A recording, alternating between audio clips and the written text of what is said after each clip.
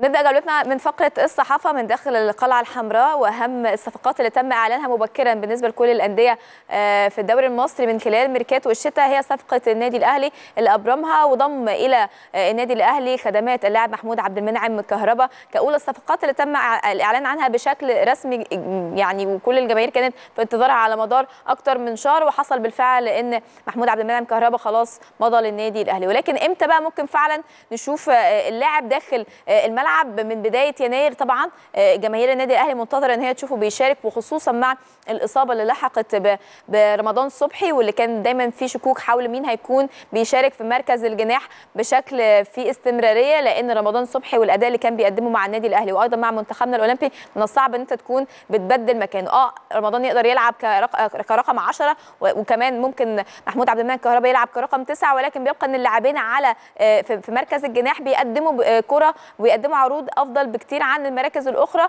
فمقارنة بكده كان ممكن يحصل الديبيت ده بالنسبة للجهاز الفني هيكون بيشرك مين؟ بشكل أكبر. إصابة رمضان صبحي بتأكد إن في التوقيت الحالي هيكون بيسعى أو بتسعى بقى أو بيسعى مجلس إدارة النادي الأهلي إن هو يكون بيحصل على خدمات اللاعب من أول يناير بغض النظر بقى خالص عن أي مشاكل هتكون بتلحق باللاعب سواء بقى من التصريحات فيما يخص إن هو لسه في عقده مع نادي الزمالك ولا يحق ليه إن هو يكون بينتقل إلى نادي آخر. والقصة الثانية بقى اللي هي من خلال اللجنة الخماسية واللي اعلنت اشترطت بقى اللجنة الخماسية لإدارة اتحاد الكرة. سداد النادي الأهلي لمبلغ 8 مليون جنيه قبل قيد محمود عبد المنعم كهربا لاعب الفريق الجديد في فترة الانتقالات الشتوية واللي هتكون بتبدأ من أول يناير اللي جاي. وفقا لموقع اليوم السابع فإن مصدر باللجنة الخماسية كشف عن إن النادي الأهلي عليه مستحقات متأخرة للجبليه بتبلغ 8 مليون جنيه عبارة عن نسبة اتحاد الكرة من توثيق عقود لاعبين سابقين بجانب بعض الغرامات المالية الموقعة على النادي واللي لم يتم سدادها.